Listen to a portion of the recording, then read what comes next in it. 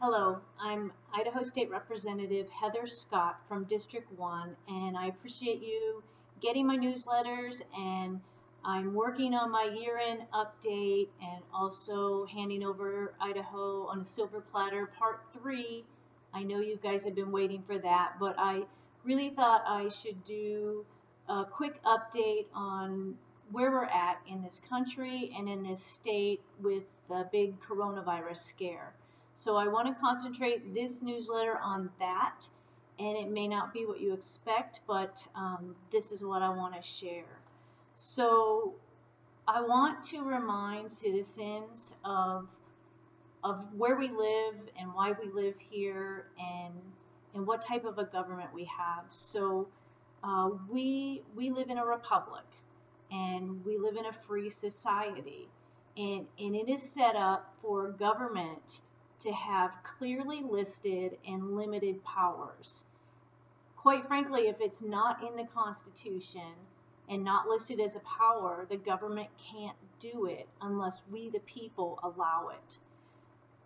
So, I, you know, we're a country and we're a state of laws, and there is this hierarchy of law. And of course, there's God and natural law, and then there's the Constitution, the U.S. Constitution, and then the Idaho Constitution. And then we have Idaho State Code, and then Idaho Administrative Law and Administrative Rules. And what there is a hierarchy, and an unconstitutional uh, law or edict or order from a bureaucrat or any elected official cannot trump the Constitution, even in times of an emergency or crisis, which is what, what we're in right now. And so I just want to remind citizens that just because um, there's an emergency or something major is happening, our government still has to work within the boundaries of our Constitution. Um, our society, too, all power is in the people. But if we do not exercise that power, um, we don't even act like we have that power. Someone, and usually government, will try to take it from us. Government always seems to want more power. Tyrants, whether they're a mayor or a county commissioner or a governor, um, they will always try to take uh, power from the citizens whenever there's an opportunity especially during a crisis or um, an emergency. Um, we have rights. We have God given, inalienable rights. And those rights, many of them are listed in the Bill of Rights, but not all of our rights are listed there. Um, we, we have life, we have liberty, we have the right to possess property, um, property being your business. We have the right to speak freely, and we have the right to defend ourselves, and freedom of travel, and equal protection under the law. Why I'm telling you this is because the lying, Trump hating media, who continues to push global and socialist agendas, has told us that there is an emergency and it's a pandemic. And currently, I just did the numbers. There's, there's, as of yesterday, there was 205 cases of coronavirus with three fatalities in Idaho.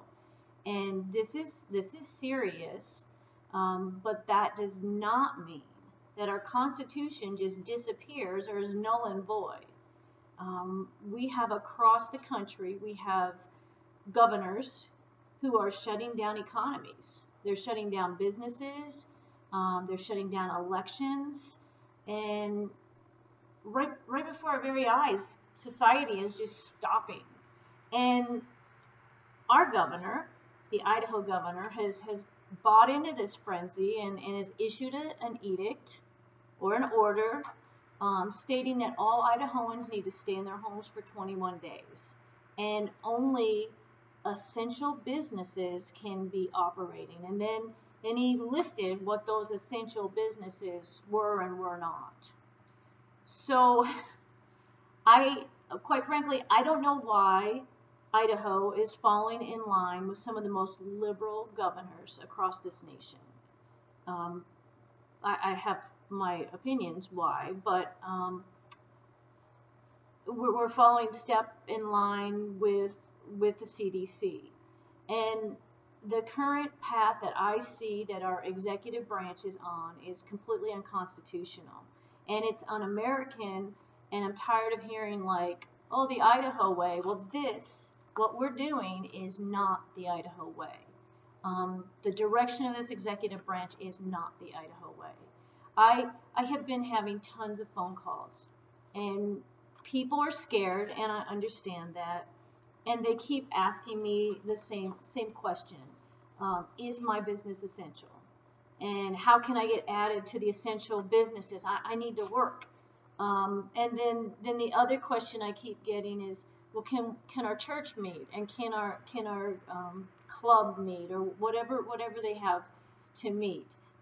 And I, I, I want to say first that every single business in Idaho is essential business.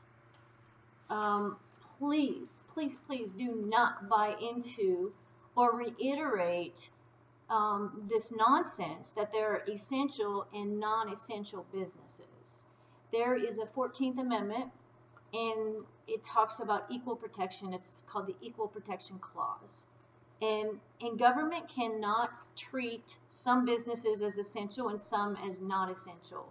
And that's, that's discrimination against, against businesses, and, and they just can't do it. It's unconstitutional. What, what may be essential to one individual or one government official may not be to another, and it is not the role of government to be picking and choosing uh, which businesses are essential and which ones are not.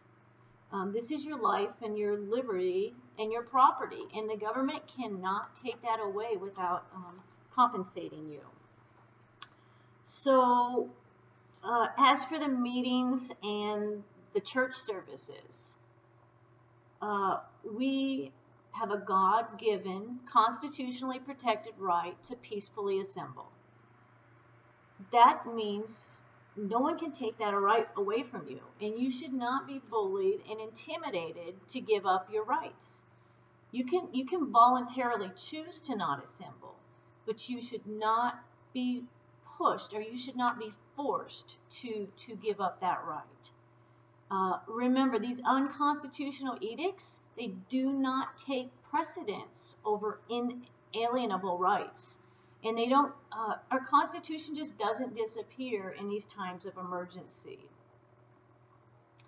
Um, the government has to work within the boundaries of the Constitution, even during crisis times.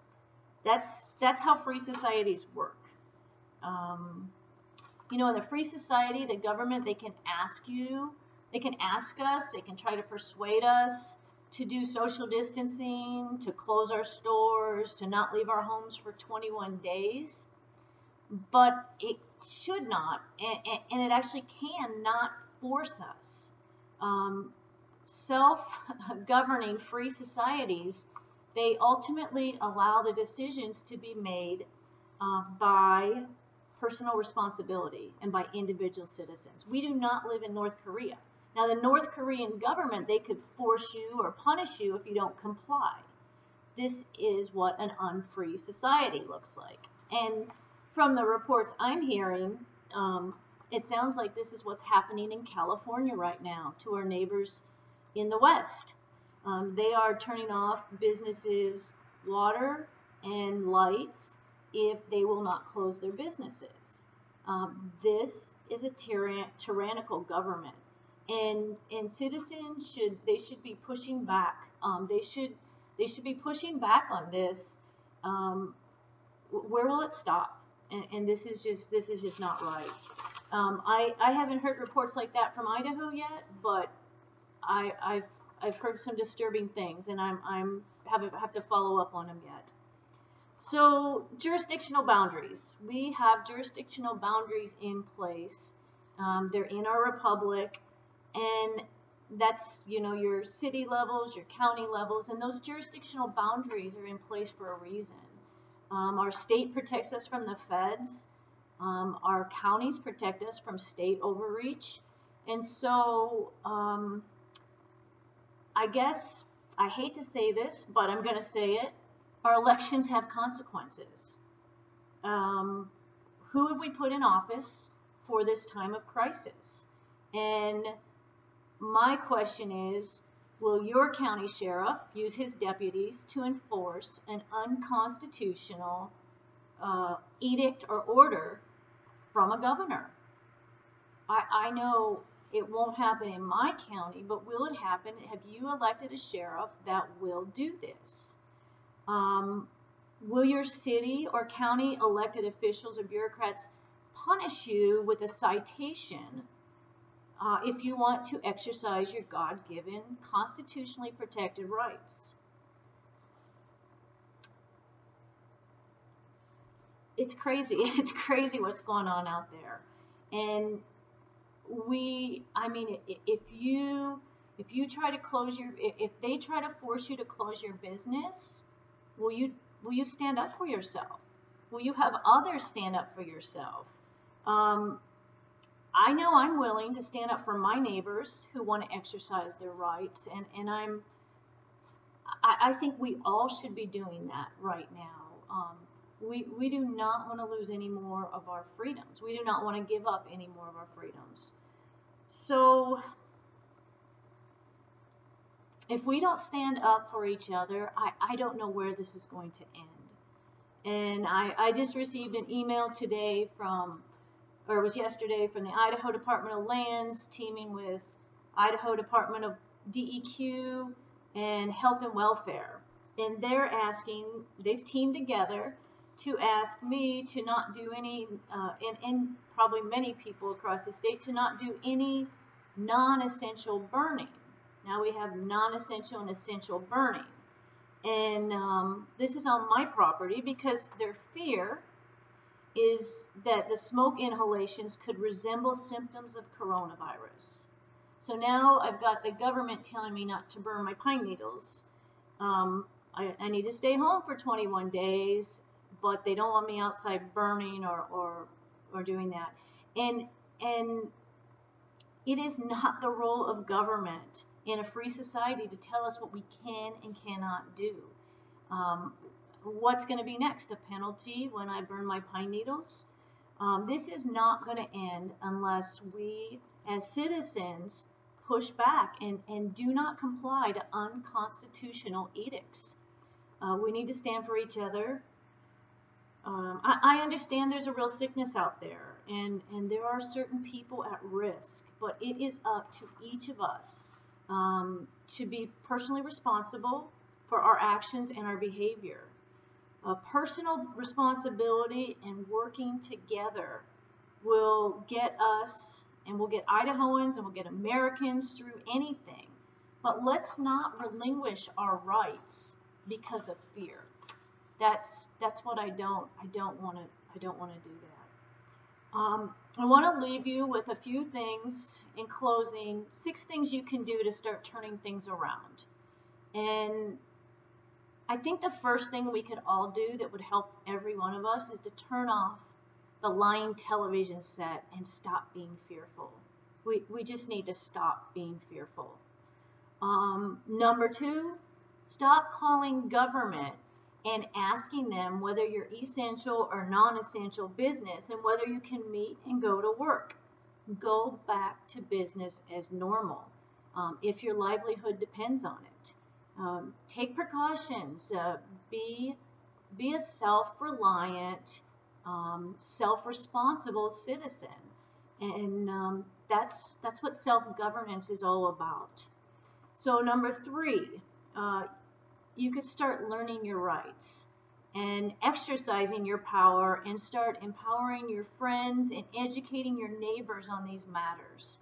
Uh, if you just get the Constitution, you can Google the Idaho State Constitution, you can Google the the U.S. Constitution. A, lot of things are listed in there, and they're really simple. And and we really need to start exercising our rights. Um, our, our liberties are slipping away daily. Uh, number five, stop thinking about government as this top-down system. It, our republic is designed to be bottom up with all power residing in the people. stop advocating your power. Um, start acting like we have power as citizens. And um, and then number six, stand up, speak up, show up against tyranny at all levels.